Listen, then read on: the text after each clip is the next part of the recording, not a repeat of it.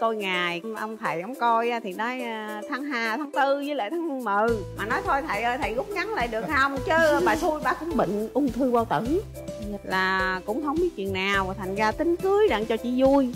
Rồi nói thôi tháng tư thì tháng tư mà chút ngay mùa dịch cũng làm luôn. Tháng tư là vừa rồi đó hả? Tháng tư là à, hai chồng cưới nhau mới có mấy? À, 7 tháng. Á. bảy tháng đầu rồi. đó. dạ Nhưng mà cái lần đầu tiên mà chị gặp mẹ chồng á Chị cảm nhận người mẹ này như thế nào? em kể chị nghe đó gặp mẹ chồng á em không biết mẹ chồng em. Hồi đầu cái à, chồng em á kêu mẹ gửi bùn dừa cho em. Cho em tập chặt dừa tại em không biết chặt dừa. À. cái đem bùn dừa ra mẹ này là cũng định ra coi thử mặt con dâu nhỏ này sao nha. Cái đem ra cái gặp ba em bán không có thấy được con dâu. Cái mới chạy vòng đi chợ đi mua đồ mua mua mua gì không biết nữa để hồi quyết tâm phải vòng về nhìn mặt dâu cho bằng được cái à, chào mẹ chồng nàng dâu trời ơi. Ôi này, trời ơi có à, lộc ăn này nữa ở rồi. Dưới quê tôi đem lên tặng cho chú Huyền Linh. À, chú dạ. Lê Lộc. Dạ. dạ Thảo trời ơi cảm ơn nhiều quá dưa hấu là đâu nè. cái này tự tôi tay tôi làm còn này con dâu bán. Wow. Bán rồi lấy tặng rồi lấy gì lời Này là mình quê đâu vậy cô? Dạ quê sẽ đét ạ. Sa à đéc, sa đéc hả? Dạ. Trời ơi nổi tiếng đồng tháp đúng không? Dạ. Rồi cảm Dạ. ơn gia đình món quà đó nha. Dạ Dạ. Cảm ơn cô, cảm ơn chị. Mời à, mẹ chồng dâu ngồi ạ rồi mời gia đình mình giới thiệu về lý lịch trích ngang của mình. Dạ xin chào chú Huyền Linh Dạ. xin chào cô Lê Lộc. Dạ chào tôi cô. à, Nguyễn Thị Phụng ở à, Sa Đéc sinh năm à, 68 đây là con dâu. Dạ, chào chú Linh, chào Lê Lộc, chào quý vị khán giả. Con tên Trang, họ tên đầy đủ con là Ung Thị Trang Quê con là ở Sa Đéc, Đồng Tháp. Nghề nghiệp con là bán dưa hấu ở Sa Đéc. Vậy là mình có vườn dưa hấu lớn lắm không? Dạ không, con ờ, mua đi bán lại. À mua đoán lại hả Em không biết là cái mối ờ, lương duyên mẹ chồng nàng dâu này kéo dài bao nhiêu lâu rồi nhỉ? à để tôi nói trước khen cô. Dạ. Cũng không có lâu thằng con á, thì nó đi làm ở Hà Nội á. Dạ. Cái à, nó nó về nó về nó chơi cũng đâu chừng tuần cái nó đi. Nó đi rồi không biết hai đứa nó lên mạng lên mạng rồi mới gặp. Gặp thì nhìn lại thì nói bạn học hồi xưa. Dạ. Rồi cái mới quen quen rồi cái cô này cổ trong này thời gian cổ bay ra hà nội cổ thăm. Cái thằng con mới điện về nói mẹ chuẩn bị nghe tết đặng à, qua nhà đàn gái dặm hỏi à. Ừ. cái nói ờ thì con tìm hiểu đi con tìm hiểu kỹ đi nghe mẹ làm thì mẹ bước tới cái nó nói à, à, rồi mẹ lo đi. Tôi cũng lo nó gái ở chợ mà về quê sợ sống nổi. Tại vì người ta ở chợ đang sang người ta mặt đẹp rồi về quê mình á thì ăn cực ăn khổ ăn cá lồng tông không sao ăn nổi. Ôi, có bông về ngon lắm á. Dạ cái sợ lắm nói à, sao con lo có có vợ ngoài sẽ đét mẹ lo quá hả mà suy nghĩ kỹ đi rồi mẹ cũng cứ nữa. Rồi tết hẹn ngày ra chị xui chị xui cũng đồng ý. Trong lúc đó chị xui cũng bệnh bệnh rồi tôi mới à, cũng đi coi ngày. Ông thầy ông coi à, thì nói à, tháng hai tháng tư với lại tháng 10 mà nói thôi thầy ơi thầy rút ngắn lại được không? Chứ bà xui bà cũng bệnh ung thư bao tử. Là cũng không biết chuyện nào thành ra tính cưới đặng cho chị vui rồi nói thôi tháng tư thì tháng tư mà chút ngay mùa dịch cũng làm luôn tháng tư là vừa rồi đó hả tháng tư là à, hai chồng cưới nhau mới có mấy à, 7 tháng á. bảy tháng đầu rồi. Dạ Nhưng mà cái lần đầu tiên mà chị gặp mẹ chồng á Chị cảm nhận người mẹ này như thế nào? em kể chị nghe đó gặp mẹ chồng á em không có biết mẹ chồng em hồi đầu cái à, chồng em á kêu mẹ gửi bùn dừa cho em cho em tập chặt dừa tại em không biết chặt dừa À. cái đem bùn dừa ra mẹ này là cũng định ra coi thử mặt con dâu nhỏ này sao nha. Cái đem ra cái gặp ba em bán không có thấy được con dâu. Cái mới chạy vòng đi chợ đi mua đồ mua mua mua gì không biết nữa để hồi quyết tâm phải vòng về nhìn mặt con dâu cho bằng được. Cái về cái gặp em mà em thì không có biết mẹ em thắng lại mua trái dưa hấu cái mới hỏi là cô em mua mấy trái vậy cô? Nói à, bán cho tôi trái dưa. Đó em cũng lựa lựa bún bún dưa lựa nói này cô căng lên nhớ trái dưa đó là như hai chục ngàn á. À. Mới đầu không kêu bằng cô kêu bằng chị tại vì bịt khẩu trang lại nhộm tóc vàng thấy trẻ lắm. Tính tiền xong cái à, thấy mẹ chạy số biển số lạ cái hỏi mẹ là ủa chị ở miền ngoài sao mà thấy biển số lạ quá? Nói, không phải. Cái này à, xe của con tôi mua cho tôi cái mở khẩu trang ra tôi là mẹ ăn giật trời phát thành thiên địa cái đầu nha đầu là hết rồi nó dạ thôi con không lấy tiền cô đâu gửi tiền lại. Cái mẹ không có thấy nó thôi thôi tôi trả tiền cô bán lại nhiêu cô cho tôi. Từ đó mới sao mới à, biết là mẹ ra coi mặt á. Rồi Thế coi mặt ngay vào lúc bán dưa hấu thấy làm sao ấn vừa tượng không? coi à, nói chung là tôi cũng biết trước rồi. Cái nói thôi con ơi. Nhỏ nó nó giống có con cũng chết hả? Con à, con nhìn sụ sệ chị con bán coi hấu coi coi. cho kỹ coi chứ sao mẹ thấy bề xề không có gọn gàng hết trơn á nghe. Mà lại có thằng anh thứ hai nó bán nữa. À. tưởng đâu chồng của nó. À. Mà nó bận lẹn thèn dữ lắm kìa. Bán dưa hấu mà tôi bận vậy thôi chứ. Thì bởi vậy tôi á thì à, tôi có bốn con chứ đừng chê đó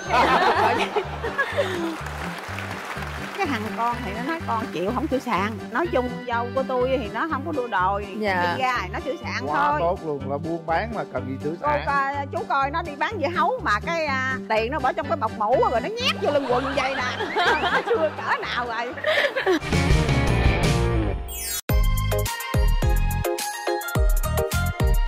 Nắng lên cao lúa lên màu xứng danh hạt ngọc trời quê ta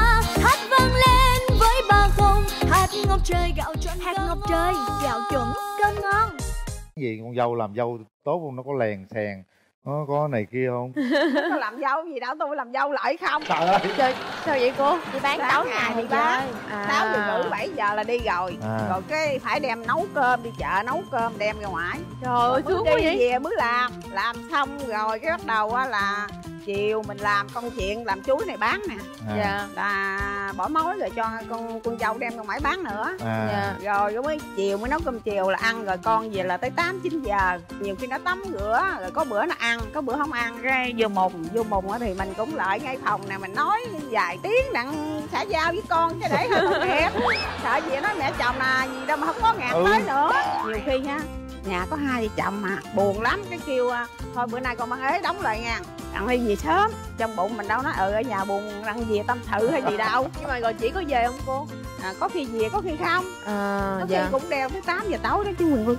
Ủa, rồi chồng con là đi ở ngoài Hà Nội luôn hả? Chồng con hồi trước thì làm ở ngoài hà nội á sau này rồi chuyển về làm ở sài gòn rồi bây giờ vẫn còn làm con còn bán dưa hấu ở dưới quê á rồi chồng con làm gì? Chồng con làm thợ hàng. À làm Sài Gòn. Dạ đúng rồi. Vậy con cứ ờ, coi như là làm bạn trái dưa hấu suốt vậy đó. À, dạ đúng rồi. Rồi bao lâu thì anh xã mới về một lần? ở đâu thì tuần về cũng có nửa tháng cũng có một tháng cũng có nữa. Trời ơi, vậy nhớ Dạ. chết mới cưới nữa. Nhớ không chết luôn. Tại công việc phải chịu thôi. Vậy mà chị đòi đi theo khi đi theo không chịu. Nó chồng đâu vậy đó nó không chịu. Bán dưa thì lời cũng ham.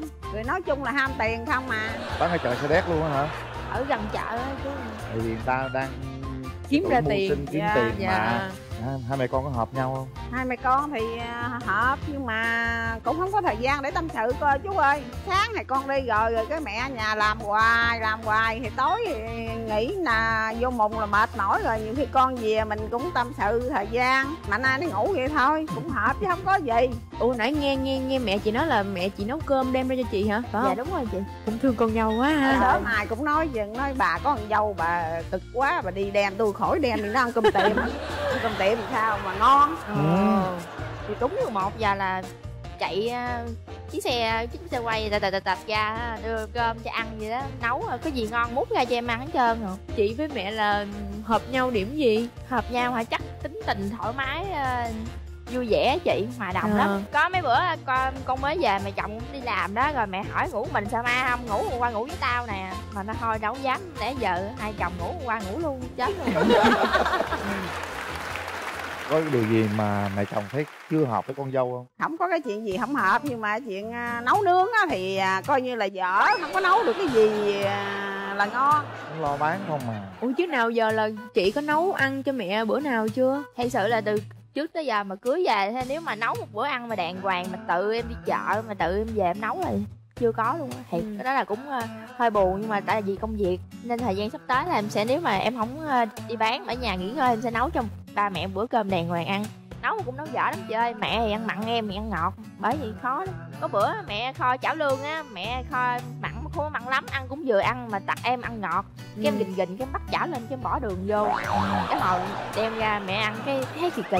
Ủa trang bộ mày lấy đường thêm gì đó trang á. Dạ đúng rồi là cái chảo lương nó bỏ mình em ăn luôn á, không luôn cái em ngọt em nấu được đâu Hôm mấy bữa là hầu hết dám bỏ đường mấy bữa được. bảo nè ở nhà đâu có đi bán cái à, mua lương mua lương gì gọng nó thôi trang đi bằng lương đi con để thôi nó ốm. Cái nói ờ để con đi à, chặt lá chuối nha mẹ để lá chuối chà hoài vậy nè. Nói sao mẹ ơi sao mà con bằng lương bữa nay nhớt hoài con chà hoài nhớt hoài. Cái hỏi chứ con có à, nấu nước sôi trụng không?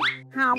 Để nguyên vậy trà đó trà hoài đâu sạch đâu cái nói con phải bắt nước lên con phải trà trụng cho nó nó qua cái con mới lấy lá chuối con trà lại mới sạch. Rồi làm vậy đó mới sạch.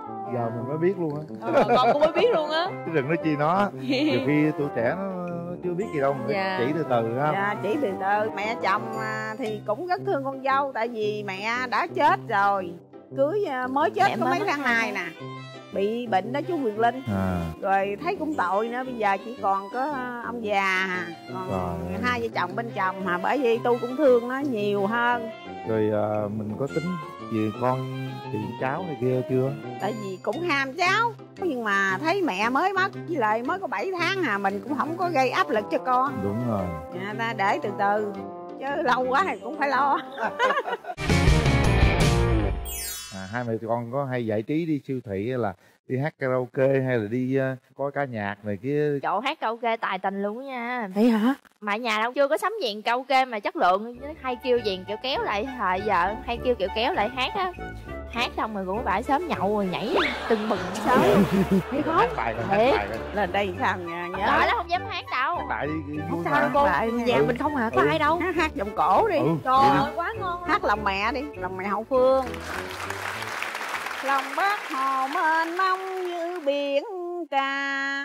Âu yếm thân thương cao vút tận mây trời.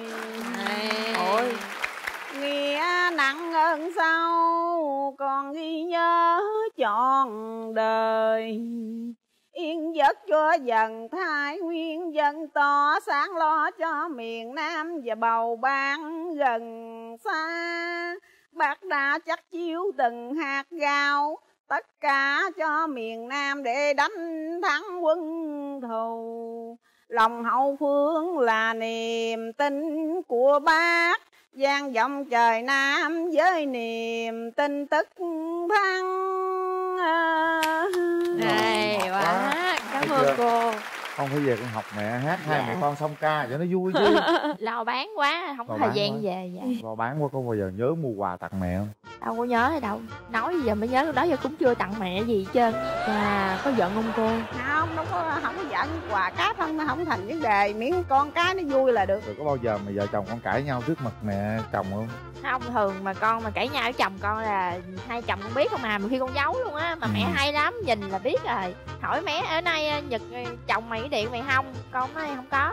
Là biết hai chồng cãi nhau rồi đó. Là bắt đầu mẹ là điện người kia là nói người kia là sao? Điện khuyên nói con ở đây là sao sao mà tội nghiệp mẹ lắm. Như năn nỉ là thôi hai chồng đừng cãi nhau. Nhiều khi con giận chồng con con thấy mẹ con tội nghiệp con cũng không dám giận chồng con.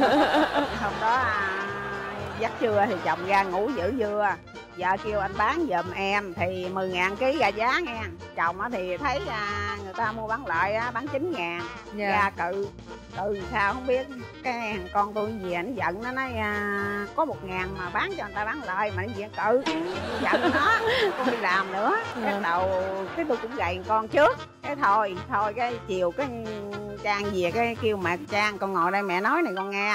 Con bây giờ thằng nhật dễ nói vậy đó mà mẹ nói con nè bây giờ thằng chồng lỡ bán mất một ngàn ký năm chục ký có năm chục ngàn hả? Có đáng gì đâu mà để vợ chồng con có năm chục ngàn mà để dây lộn đúng rồi. Bây giờ từ ngày sắp tới nếu mà chồng con bán mắc á tiền lời nhiều thì hai chồng ăn nhiều. Nếu mà bán rẻ thì ăn ờ, ít thì lời ăn ít chứ đâu có ai vô ăn đâu con sợ. Dạ. Mà chi mà có 50 ngàn để cho hai chồng xích mít rút kinh nghiệm lại. Cái thôi vậy thôi cái vô năn nỉ chồng cái trời sáng ngày con tôi nói mẹ tối mẹ nói gì mặn trang vô năn nỉ con.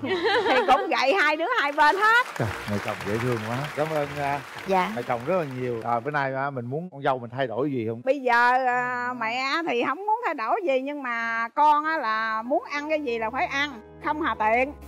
Thèm cái gì là ăn chứ không hà tiện hà tiện dữ lắm. Sức khỏe là quý nhất chứ Đúng không rồi. có tiền không thành vấn đề con bằng cả đời mà con không ăn là bệnh là con chị cũng thiếu luôn đúng rồi dạ cảm ơn mẹ Rồi. dạ mẹ con cũng mất rồi à, sau này con coi mẹ là mẹ ruột thành ra là có gì mẹ cứ à, dạy dỗ con cứ chia sẻ thẳng thắn với con con nghe Dạ. hết chúc à, gia đình mãi mãi hạnh phúc như thế nha Rồi, tặng một kỷ niệm để coi cái này nhớ có quyền linh lê lộc rồi rồi cảm Dạ. ơn chú nhiều cảm ơn Rồi. chương trình Dạ, con cũng xin được à, thay mặt chương trình gửi tặng cô và chị một ít quà. Đây là sản phẩm của thương hiệu Elina. Còn đây là Ala Bio với thành phần 5 Ala được chứng nhận lâm sàng về hiệu quả tăng cường chuyển hóa đường thành năng lượng, giúp ngăn ngừa và hỗ trợ điều trị đái tháo đường. Xin cảm ơn cô và chị đã đến tham gia chương trình ạ. cảm ơn gia đình từ sa đéc lên thành phố hồ chí minh tham gia chương trình